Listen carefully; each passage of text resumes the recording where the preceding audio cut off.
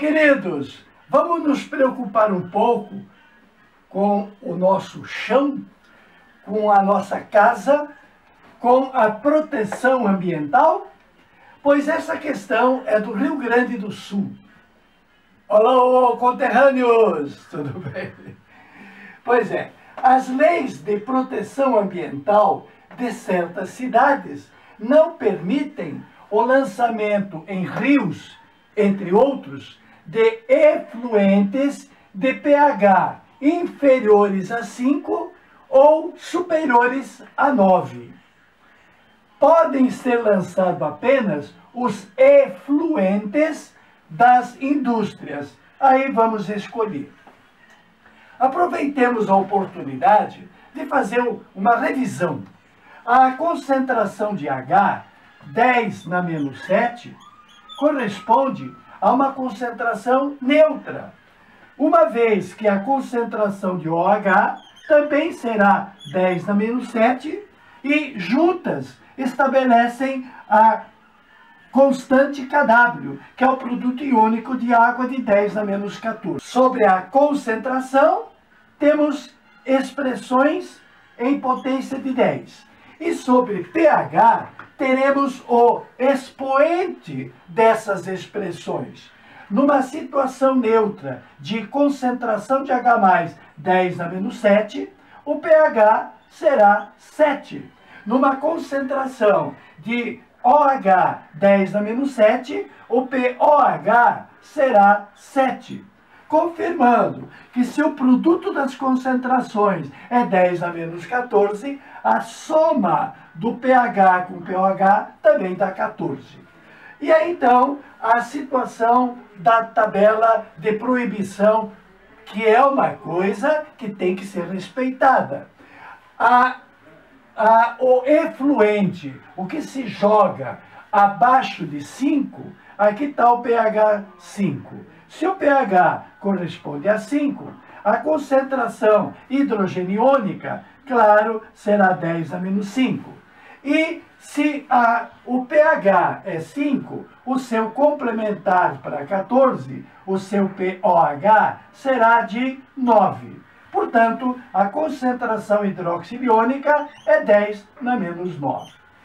Para situações em que o efluente tem a pH abaixo de 5, ou concentração hidrogeniônica maior, maior, porque ser 10 a menos 5 é ser maior do que 10 a menos 9. Por exemplo, 10 a menos 4 10 a menos 4, que é a situação da indústria Y, se a concentração hidrogeniônica dela, do efluente dela, é 10 a menos 4, equivale a ter um pH igual a 4, que é condenado. Está muito ácido. Como eu falei há pouquinho, é, o camarão sobrevive num pH específico, 8 pH baixo ou pH alto, não há ser vivo que aguente. Bem, da mesma forma, se o efluente for superior a 9, ser pH superior a 9 é estar nesta situação da tabela, aonde o pOH complementar será de 5. Para pH acima de 9 ou pOH abaixo de 5, numa situação, por exemplo, de pH igual a 10, o pOH seria 4. O efluente de pH 10 é muito básico. Os íons OH- fazem o mesmo estrago no ser vivo do que faz o íon H+.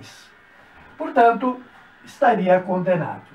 Tem, claro, que na situação do efluente, no exemplo que eu te dei de 9, nós teríamos uma concentração hidrogeniônica de 10 na menos 9, baixíssima, e uma concentração hidroxiliônica 10 na menos 5, altíssima, comparada com a de cima. Muito bem. Então, podem ser lançados com, com a concentração hidrogeniônica de 10 na menos 3, equivalerá a um pH igual a 3. Concentração hidrogeniônica de 10 a menos 4 equivalerá a um pH igual a 4. Portanto, nem a A, nem a B, bem, então restou a situação do Z. Então, a resposta automaticamente será Z. Agora, vamos tomar o cuidado que merece. A concentração que está me sendo dada é de ânions hidroxila, ânions hidróxido. Se a concentração de OH é 10 a menos 6, a concentração de H complementar para 14 será 10 na menos 8 o que vai me dar, no caso, um POH correspondente a 6, porque é o pH, o número do, da potência de 10, aquele número negativo.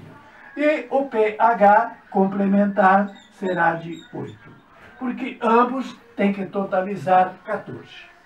Bem, então, a situação da indústria Z, cujo efluente tem essa concentração hidroxiliônica, terá essa concentração hidrogeniônica, terá pH 8.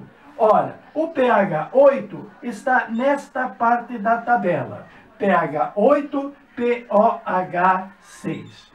Pode ser lançado o efluente da indústria Z, porque o pH desta indústria, do seu efluente 6, está no intervalo entre 5 e 9 que é o intervalo de pH permitido para o lixo industrial.